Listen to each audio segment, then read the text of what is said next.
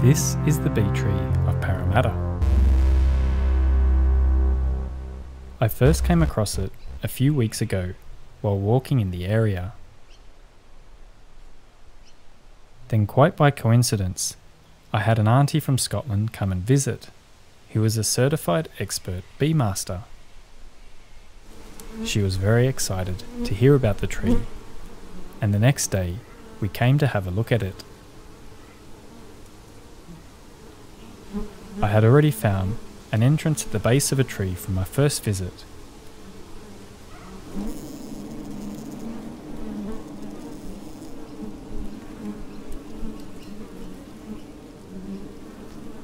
But we were then surprised to find a second entrance about two metres up.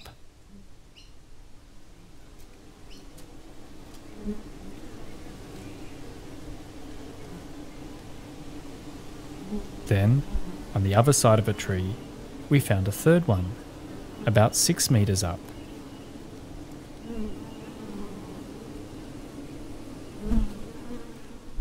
We decided to come back the next day, this time bringing my brother's brother in law, Terry, who has a knack for capturing beautiful photographs of insects.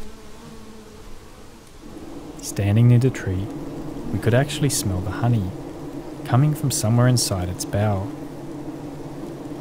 My auntie then talked to us about bee behaviour, the death of drones, bees dancing to communicate, management of the colony, how they swarm for a new home, as well as storing honey for winter. When she described how worker bees would carry honey with them to build a honeycomb in a new location, Terry's eyes lit up and he described it cleverly as a transference of energy.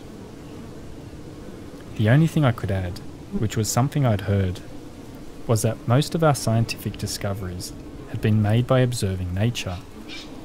And my auntie immediately pointed out that this was in fact true, that there was also actually a bee algorithm that had been based on the behaviour and flight patterns of the bees. The three of us went home. A bright afternoon sunlight filtering through the trees, the sound of cockatoos in the distance. That night, as I was going to sleep, I could still smell the honey, and whether that was real or imagined, I don't really know. But I do know that this bee tree of Parramatta was something very special.